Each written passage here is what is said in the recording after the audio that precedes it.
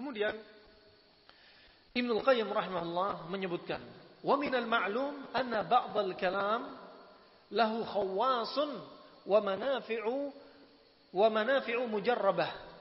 فما الظن بكلام رب العالمين الذي فضله على كل كلام كفضل الله على خلقه الذي هو شفاء التام والعصمة النافئة والنور الهادي والنور الهادي والرحمة العامة alladhi tasadda'a min azamatihi wa jalalatihi.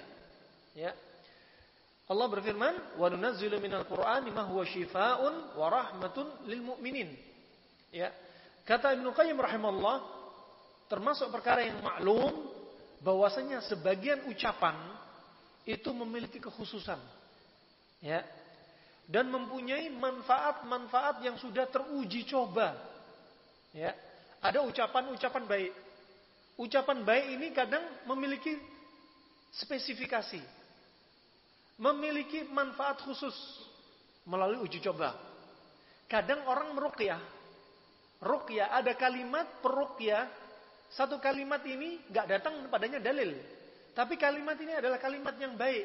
Dengan kalimat ini dengan ruqyah yang dia pakai kalimat ini ternyata bikin jin sudah kepanasan. Kadang ada seperti ini. Ya. Ada ucapan-ucapan yang mujarrabah yang sudah teruji coba walaupun nggak datang dari Al-Qur'an dan Sunnah, walaupun kita pakai bahasa Indonesia, meruqyah dengan syarat bahasa ini bisa difahami, kalimatnya baik dan sudah teruji coba bisa memberikan efek kepada jin, kepada setan yang masuk ke dalam tubuh manusia, maka itu adalah yang mujarrabah dan baik, tidak mengapa. Dan itu memiliki efek, dampak. Terus bagaimana? Seandainya kalam ini adalah ucapannya Rabbul Alamin. Tentunya lebih dahsyat. Tentunya lebih dahsyat. Antum lihat. Ya. Cahaya matahari begitu panas. Ketika dulu kita masih kecil, Sering kita melakukan percobaan pakai kaca lup. Kalau ada matahari siang hari pakai kaca lup, di bawahnya ada kertas. Apa yang terjadi? Terbakar. Gimana kalau cahaya itu nuru rabbina? Kalau cahayanya adalah cahaya Allah. Ya, kalau kalamnya adalah kalamnya Allah, tentunya lebih dahsyat lagi. Ya, demikian pula kadang kita sholat Sholat kayak tidak sholat. Kok bisa? Allah sudah berfirman, Inna salata tanha anil fahsyai wal munkar. Sesungguhnya sholat itu mencegah perbuatan keji dan kemungkaran. Ya. Kok ada orang sholat, rajin sholat, tapi rajin berbuat mungkar dan maksiat?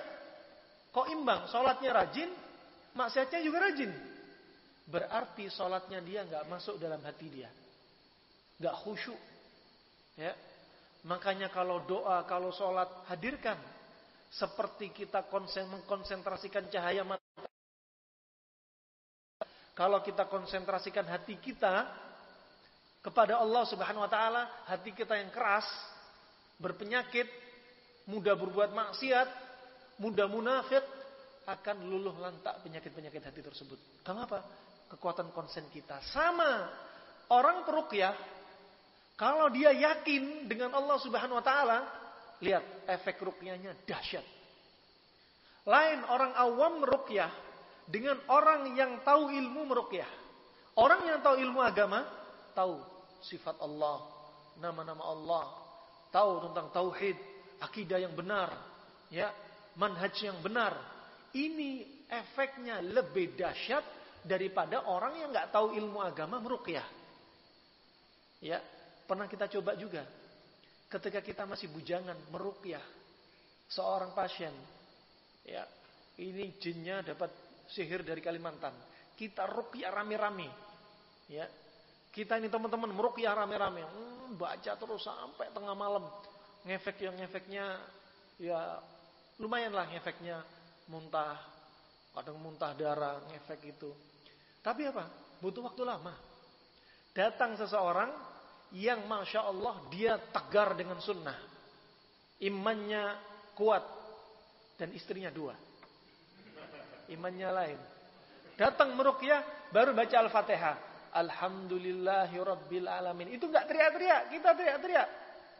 Dia baru merukyah, taruh sebentar di telinganya. Alhamdulillah Rabbil Alamin Ar-Rahman Ar-Rahim Maliki Langsung pipis di celana. Nah, kita yang bujangan belum beristri, kita belum tegar di atas sunnah, belum teruji coba dengan fitnah, ya rasanya lain dengan orang yang sudah teruji coba di dalam fitnah, sudah teruji coba keimanan mereka. Nah, satu istri sama dua istri, perupiahnya lain efeknya. Nah, rahimani rahimakumullah, demikian. Kalau kita yakin dengan Allah Subhanahu wa taala, dampak efek ruqyah yang kita baca ya lebih dahsyat daripada orang apalagi ruqyahnya nggak yakin sama Allah Subhanahu wa taala. Benar nggak apa ada jin ini? Ya, benar nggak ini memberikan efek? Lama-lama dia yang ragu. Apalagi ngerukyah jinnya ketika dirukyah jinnya bicara. Bacaan tajwid kamu salah. Dikoreksi sama jinnya. Ada teman kita yang merukyah, dirukyah dibacain surat Al-Baqarah sampai habis. Ternyata jinnya hafal 30 juz muslim. Nah, rahimani wa rahimakumullah jami'an. Tapi kekuatan iman membedakan. Ya, kata teman kita, kalau kamu tidak keluar dari tubuh ini, ya, karena sudah putus asa dia, 30 juz dibaca, nggak keluar jinnya. Tak panggil Ustadz Fulan. Langsung jinnya kabur. Ternyata baru dipanggil namanya Ustadz Fulan, subhanallah, namanya saja. Karena nama Ustadz yang dipanggil ini tegar di atas sunnah, ya, imannya kuat, istrinya empat lagi, masya Allah. Ketaatan kepada Allah Subhanahu wa taala berpengaruh. Semakin seseorang taat kepada Allah, semakin imannya kuat, semakin yakin kepada Allah Subhanahu wa taala, ya demikian memberikan